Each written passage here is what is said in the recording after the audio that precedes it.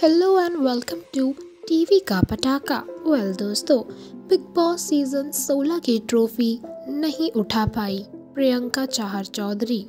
और दोस्तों, सबसे ज़्यादा इमोशनल मोमेंट तो वो था जब अंकित की आँखों से आँसू बह गए। जब अंकित ने सुना कि टॉप थ्री की रेस से जो बाहर हुई है, वो प्रियंका है। लेकिन दोस्तों अंकित को इमोशनल देखकर सलमान ने उन्हें बताया कि प्रियंका हार कर भी जीत गई है। प्रियंका सचमुच की बाजीगर बन के इस घर से बाहर जाने वाली है। जी हाँ दोस्तों, प्रियंका को सबसे बड़ा सरप्राइज़ मिला है।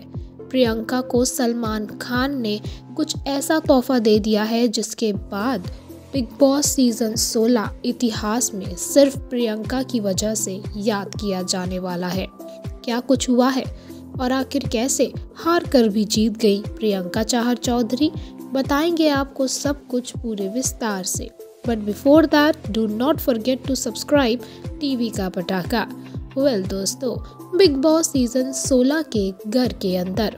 आपको बता दे कि जब प्रियंका सामने आई और प्रियंका के चेहरे पर खुशी थी वो सेटिस्फाइड थी कि उनको जितना मिला उतना काफ़ी है। तो प्रियंका का यही attitude never giving up spirit देखकर सलमान का दिल पूरे तरीके से भराया।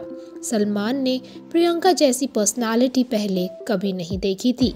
तो दोस्तों, यही वजह रही कि सलमान ने जब सारा का सारा ग्रैंड फिनाले ओवर हो गया, तब प्रियंका को स्टेज पर रोक लिया और आफ्टर पार्टी जिस जगह पर सलमान देते हैं बिग बॉस के ग्रैंड फिनाले के बाद, वहाँ पे स्पेशली प्रियंका को अपने रूम में ले गए सलमान। और वहाँ पे प्रियंका, सलमान और शो के उनके कुछ प्रोड्यूसर की स्पेशल मीटिंग हुई।